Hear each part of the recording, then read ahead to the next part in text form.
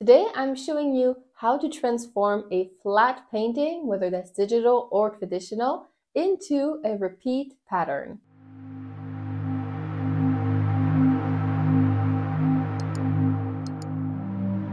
Hello everyone! Welcome to Art Business with Ness. I'm Ness and I'm a professional illustrator. Repeat patterns. They are really cool because you can put the repeat tile into a multitude of different products like fabric, clothes, wallpaper, shower curtains, you name it. There are many different print on demand services like Redbubble or Society6, Spoonflower, where you can upload your repeat pattern tiles and then put them on a multitude of different products. Whether that's for your own personal use, something custom that you've made yourself, or whether that's to sell to other people and make some revenue from that. Now, normally when I create patterns, I draw all the elements on different layers so that I can build a file in a way that's really easy to make the pattern. I already have a tutorial on this channel on how to do that, so I'll link it somewhere on the screen and in the description as well if you want to check that out. But what if you have just a painting that you've done, a flat painting, like let's say a watercolor painting, and you think that would make a really cool pattern and you would like to make it tile, but you don't know how to do that. And it hasn't necessarily been built that way. It's just a flat painting, right? That does make it a bit trickier, but you can still transform that painting into a repeat pattern. And today I'm going to show you exactly how. And a little fun twist today, instead of showing you on my own art like I usually do, today I'm showcasing another artist who's kind enough to lend us her paintings so that we can do the little demonstration today. So this is Mona Barbu. She's a wonderful traditional artist. You can find her on Instagram at mona.b.art. She makes these beautiful traditional paintings that are abstract and semi-abstract. They are absolutely perfect for repeat patterns and will look beautiful on many different types of surfaces. So let me show you how I will go about transforming one of her paintings into a repeat pattern tile. Alright, so here we are in Photoshop with the first pattern that I want to show you. So this is a beautiful painting by Mona and this is literally as she sent it to me. This is a scan because I wanted to show you every single step of the way. so this is a painting that's literally just as is. Nothing is prepared. If you were painting specifically for a pattern, you would want to finish all the shapes. So you would want maybe even to draw over the border, the little white frame, just to finish all these shapes, all of these hearts. Because now since we don't have the end of them, we're gonna have to either find a way to erase them or to finish the shape while still matching the same exact texture and color. So that makes it tricky. But I'm going to be able to show you then what to do about that. so first we want to grab the crop tool and we want to just crop out all of the white and all of the gray around the scan. We go. We also have everything here on one layer, the background. I don't like this, so I'm going to duplicate this. And I'm going to make the background white. Merge this. So now our background is white and our actual painting is on a separate layer. This is always good practice no matter what you're doing to have things on separate layers like this. So now we're going to turn on pattern preview. So click on view and pattern preview. This is the main tool in Photoshop that we use to make patterns. I have tutorials on this that I've made in the past and I'm going to link them at the end if you want to see. So this is what we have right now. So we can see that this painting is actually ideal to make a pattern. This is going to look awesome. It's almost as if it was meant to be a pattern to begin with, but not everything matches up on all the sides. So there are multiple different ways to fix those borders and I'm going to try to showcase a few different ways that we can do that. Uh, but here we have a solid motif, so these hearts that we need to complete. Thankfully, we have in the image other hearts that are similar with the inside white border, so we can take one of them and we can copy paste it and create a little motif that we can put on top to cover these borders. So I'm going to take this heart right here and I'm going to copy paste it and so now we have this heart on a separate layer and I'm just going to go in. I'm going to tap on this icon, the rectangle with the circle in the middle to create a mask. And now I'm gonna pick a pen with just like a normal hard pressure pen. And with the black on, I'm going to erase all around to make this a self-contained motif. We could also use the eraser, but the eraser is very permanent. In this case, if I make a mistake, then I can just switch to the white and I can get it back. So this is a less like permanent way to do things, which I like a lot.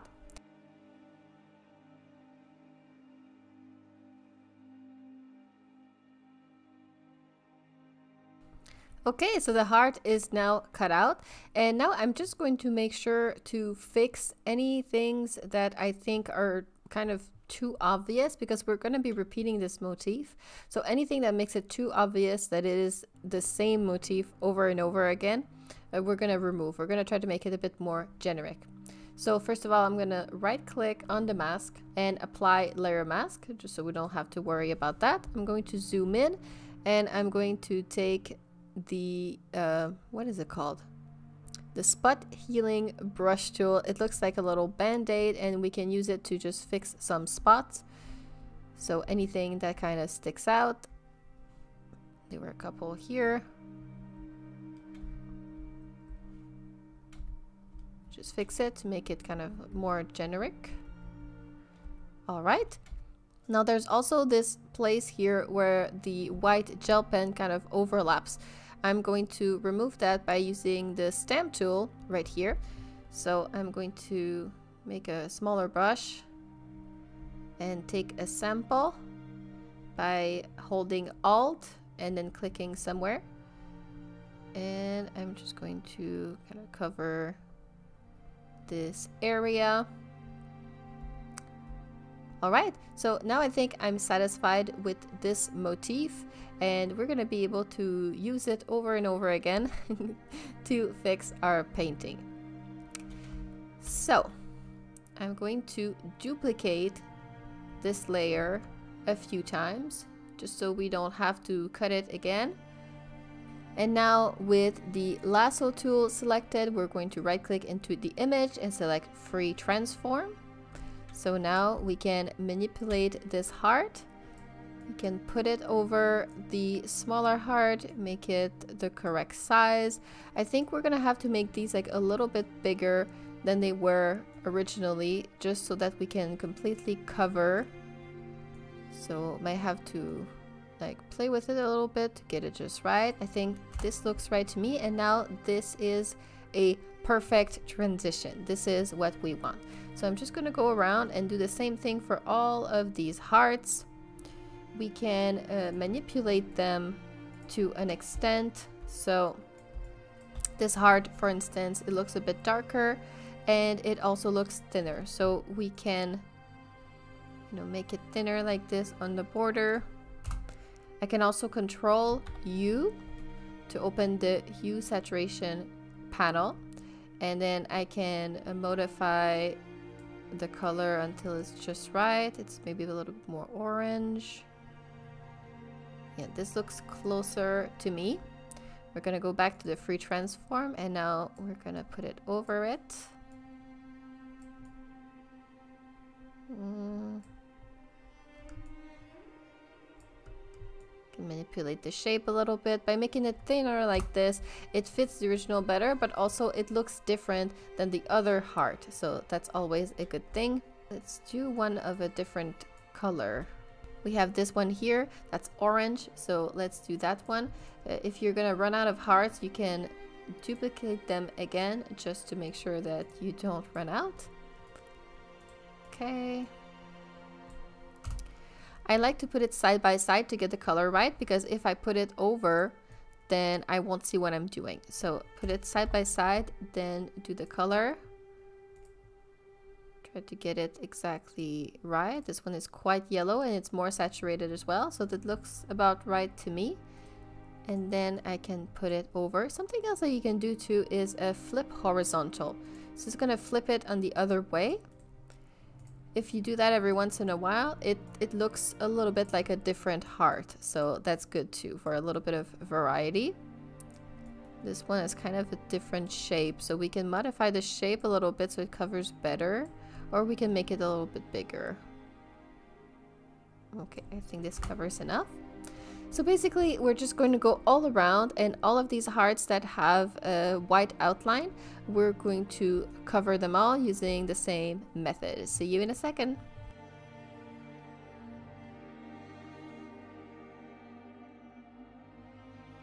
Okay, so now I'm looking all around and all of these hearts, the one that have a white outline, are now repeating perfectly. Yay! now we have to take care of these background hearts. So the ones that are very pale in the background are just kind of like shapes and these ones that are more solid but don't have a white outline. I personally really like to work from the top layer and then to the background instead of the opposite because the top layer things are going to cover some stuff. And so we don't want to, for example, you know, kind of work here and spend a lot of time making this repeat when we're just going to cover it with a bigger heart anyway. So I'm looking inside the image and I'm attempting to find a heart that we can use that we can copy paste. So we have two options we can take something that's kind of a bit incomplete and then we could complete it and use that or we can try to find one that's completely done already I think this one is maybe the closest that we have it is fairly complete it doesn't have a lot of different like color differentiations within it so I think we're gonna use this one I'm gonna go on my background layer and then with the lasso tool I'm going to select this heart copy paste. I'm going to either give it another name or change the color. So I'm going to put the, this, let's say orange, at least so I know to differentiate them from the other uh, top hearts. And to organize a little bit, I'm going to select all of the top hearts, including the one that I didn't use, and I'm going to put them all in a group. So uh, now they're kind of out of the way. All right, and we're going to go in with our brush tool and our black and we're going to erase this using a layer mask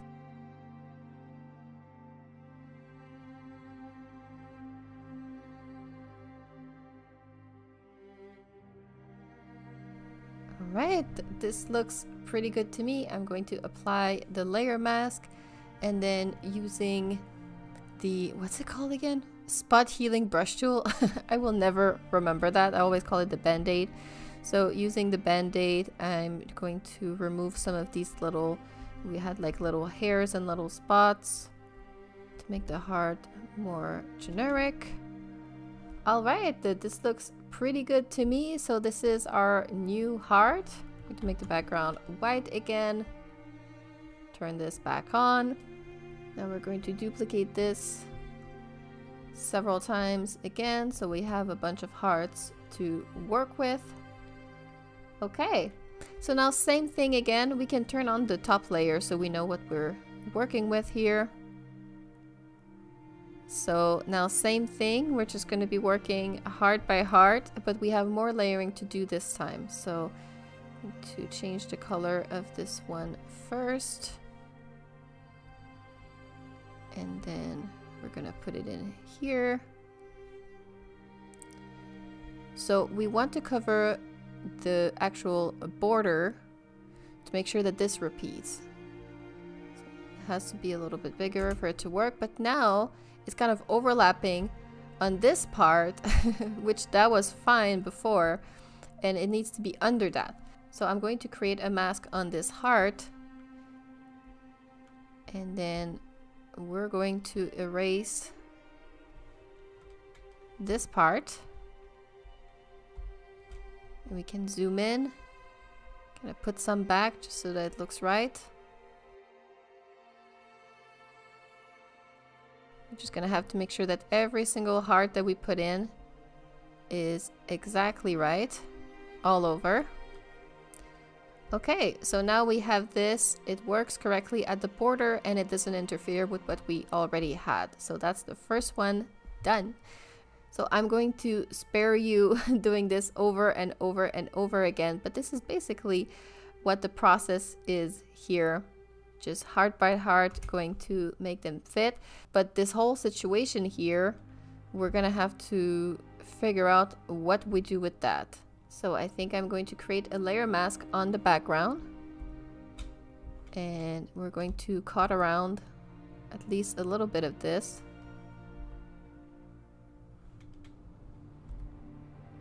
See, we have kind of this giant heart in the background like this. I think that we can cut around it a little bit. Make it repeat like that. And now we only have to worry about making this yellow work. We could duplicate a heart if we wanted to, but it doesn't even look like a heart because it's such a background thing. So I think I'm just going to use the stamp tool. Select a sample and then on a separate layer, I'm going to fill this in.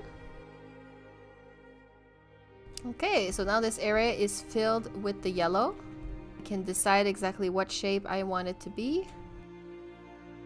Alright, so now we have this corner here that's completely done and it repeats perfectly, which means that now our four corners are all figured out. So we just continue like that.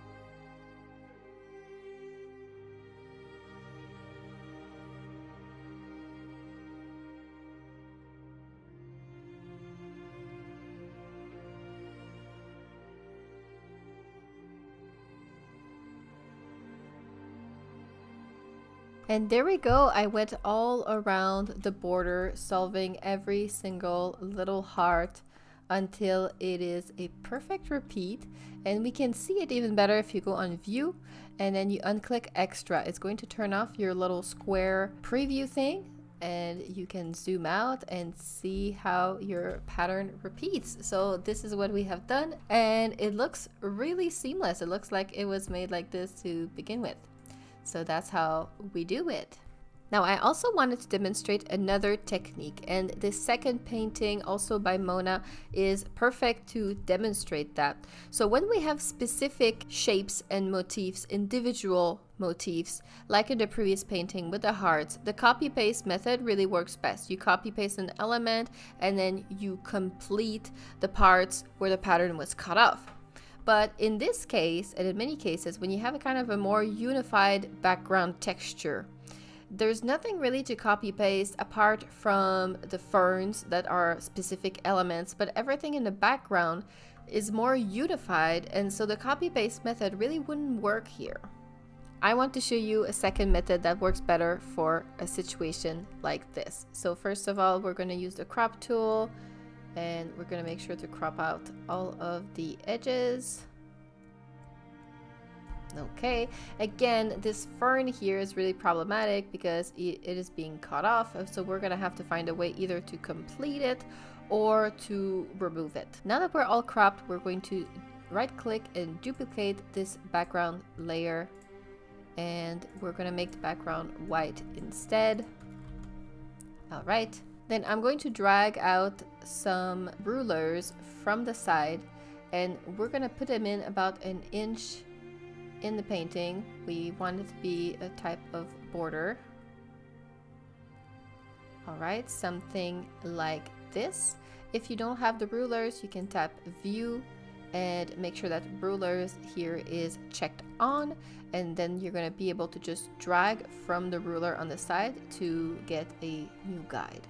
Now we're going to click on image, canvas size, and we're going to select percentage here and we're going to do 150% on each side, making sure that the Canva extension color is white. All right, so it's just going to extend our canvas on every side. And then what I'm going to do is with the move tool, simply just move that to make sure that the painting is aligned on the edge on two sides.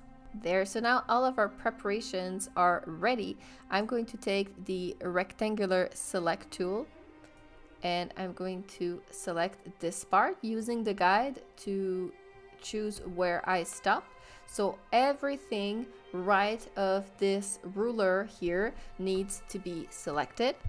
I'm going to copy paste this and with the free transform, I'm going to use the guides again to align it exactly where it needs to be. And then holding shift on my keyboard, I'm going to put it on the other side. I'm holding shift so that I can only move in one direction at a time. This way I'm sure that it's still aligned and I'm going to put it on the left side like so. So now I have another layer where the pattern kind of overlaps and I'm going to be able to use that to try to make the two parts work together. So I'm going to create a mask on this new layer and clicking view and deselecting extras just to forget our guides for a second there. I'm going to select my brush tool and then right click, pick something kind of a bit more soft not the hard round pressure. I really like this watercolor brush because it has kind of an irregular type of uh, border to the brush. So it looks like this and it's more of a random pattern. So I like this a lot to, to do this uh, background matching thing. So now we're gonna make sure to select the black here to cut into this layer. And then I'm just going to paint over like so. It's okay if I go a little bit overboard because I can use the white to get it back if necessary. So for right now, I'm just kind of trying to erase the hard border and make these two pieces fit together. So we can see how we have another fern here under that's kind of getting in the way. That's definitely annoying because we don't want the other fern. We already have one right here. So this part here is going to be quite complicated because these ferns are just overlapping like crazy. So for right now, I'm just going to try to delete this border. And I'm going to go below, continue here. Okay, so I think we have our preliminary cut here. We kind of blended these two pieces of art as best as we could. And we're going to be able to go in later with the stamp and stuff like that to try to make it a little bit better. but for right now, good enough. And so I'm going to merge these two layers together, Control E, merge them all together. We're gonna click the extras to get back our guides. Select all of this, copy paste. Align it with the guides and then holding shift, doing the same thing again, but this time up. There we go. So now we have this new layer tucked in and we're going to attempt to merge these two parts like we did previously.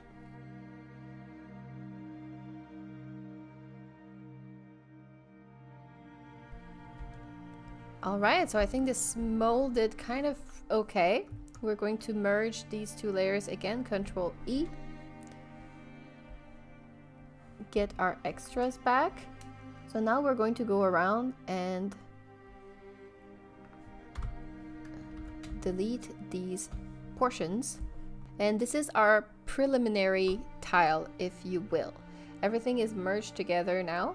We're going to hold down Control key and hold right over your layer here, click, and this is going to select the shape of your tile.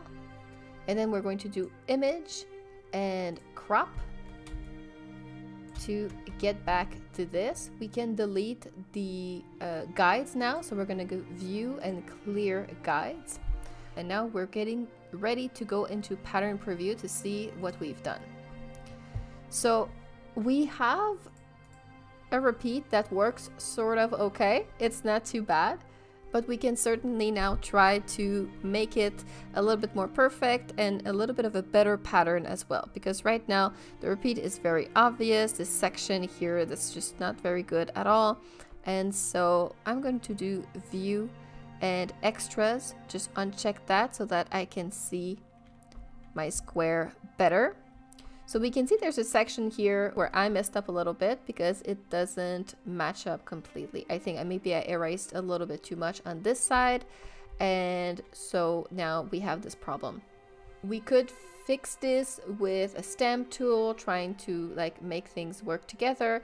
But I'm thinking I see the pink shape here is being cut off and I want to add some pink in this area. So I'm thinking that's what I'm going to do. So I'm going to select in the shape of the pink that I'm trying to do and I'm going to do a little bit over what I need.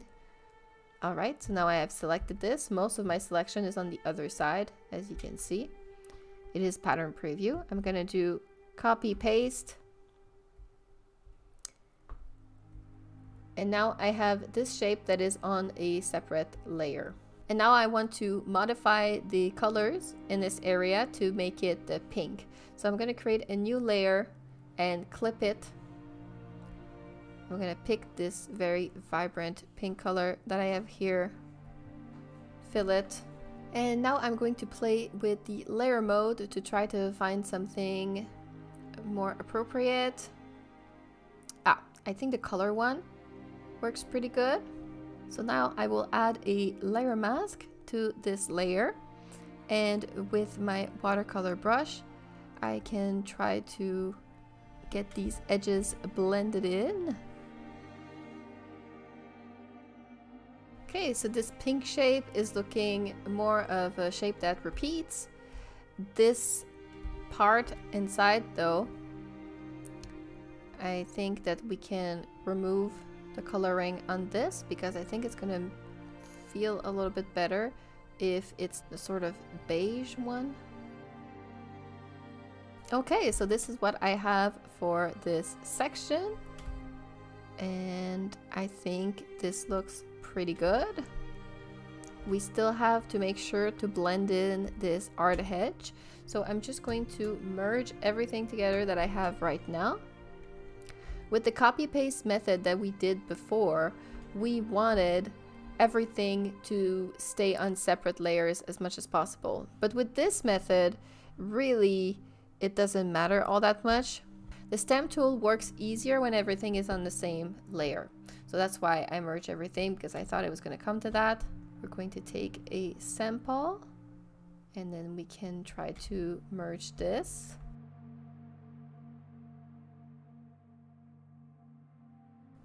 Okay, so this is the result that we have for this corner. And I think it blends in pretty well.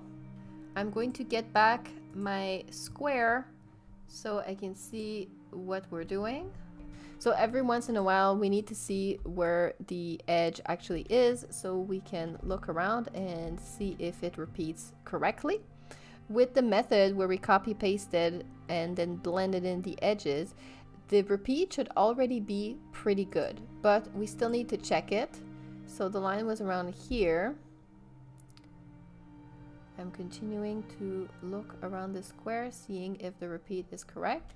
This is the same part that was repeated before on the other side. Okay, I can see here there's kind of a, a line in the color divide so I'm gonna try to blend that in. The stamp tool comes in really handy for these things. Okay, so as it happens, it's pretty good now, but we still have to fix some of the fern problems that we had. Remember this? So I think I want to use the stamp tool to remove everything in this kind of area here. We're gonna have to continue these leaves a little bit. We can copy paste one of the leaves maybe and use it to complete the fern and then we're gonna have to have like some sort of fern topper around this area. So first I'm just going to delete everything that I don't need using the stamp tool to kind of blend in all of these leaves.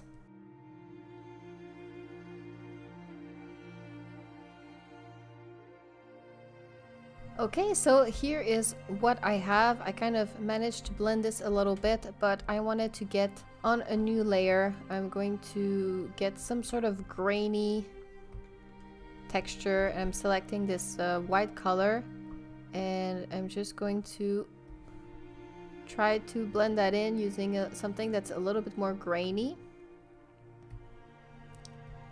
Maybe Pastella.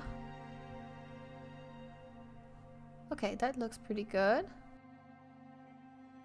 Okay, so now I have eliminated this fern that was in the way and we can reconstitute this fern now. I have kept this leaf because I thought it was pretty well integrated and we're just going to continue the stem. So I'm gonna take, I think, Fontania and I'm gonna pick the color of the stem and on I'm on a different layer and I'm just going to like attempt to create a stem that looks sort of okay. Now it looks very flat compared to the original that has more color variation. But since it's on a different layer, I can now make adjustments. So I'm creating a clipping mask on top and then I can try to add a little bit of color variation. I think I'm going to do a blur on this and then maybe add a bit of noise to mix it in better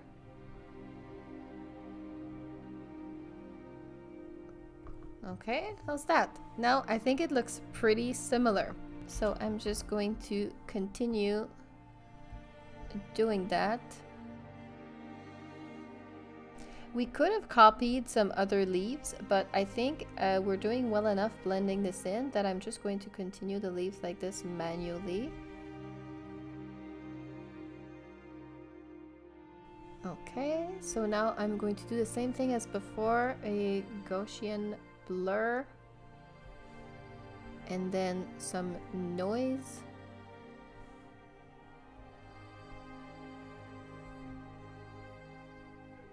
Okay, I think this is like a bit too much. I'm gonna reduce the opacity on this. Okay, what do we think? When we zoom out, I think it looks pretty okay. It doesn't look too different from the other fern. So I think I'm, I'm happy with that. So I'm just gonna go around and do this for all the ferns because we had some stems that were cut off. So over here, you know, I'm just going to continue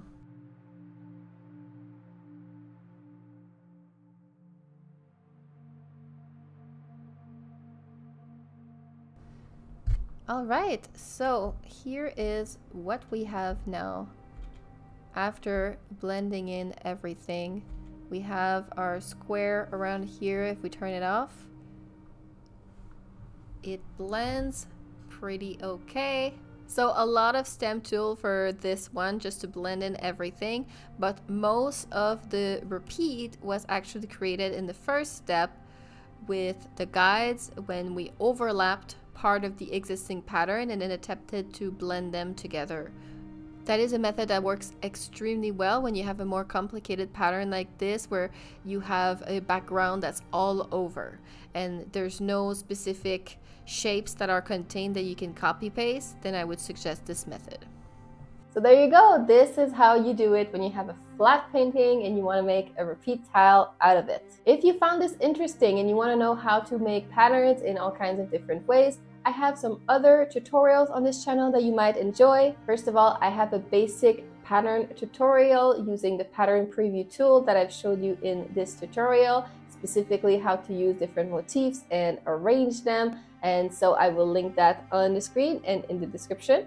I also have another tutorial that shows you specifically how to do a half drop pattern, which is very, very popular from companies and helps make the pattern look a little bit less stiff, a little bit more mm, awesome.